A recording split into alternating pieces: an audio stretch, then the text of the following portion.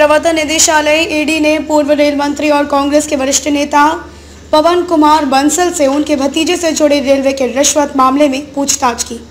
उच्च पदस्थ सूत्र के अनुसार बंसल से बुधवार को ईडी के चंडीगढ़ कार्यालय में करीब आठ घंटे तक पूछताछ की गई। सूत्रों के अनुसार आने वाले दिनों में बंसल से एक बार फिर उनसे पूछताछ की जाएगी। ईडी ने इस मामले में पिछले साल मई में नवासी लाख रुपए की राशि अटैच की थी।